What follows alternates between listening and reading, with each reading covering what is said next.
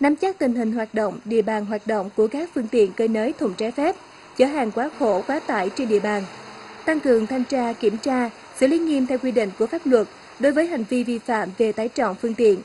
tập trung kiểm tra, xử lý tại nơi xuất phát hoặc cường các khu vực chở hàng quá tải trọng lưu thông trên các tuyến đường bộ. Chủ động phối hợp chặt chẽ với các phòng ban nghiệp vụ công an tỉnh và chính quyền địa phương trong tiếp nhận, trao đổi thông tin về công tác đảm bảo trật tự an toàn giao thông. Bố trí lực lượng chức năng của Sở Giao thông Vận tải duy trì hoạt động của trạm kiểm tra tải trọng lưu động 24 trên 24 giờ tất cả các ngày trong tuần. Song song đó, phối hợp với Trung tâm đăng kiểm phương tiện cơ giới đường bộ Lâm Đồng thực hiện nghiêm túc quy trình kiểm định, không cấp giấy chứng nhận kiểm định cho các phương tiện cơi nới thùng xe trái phép.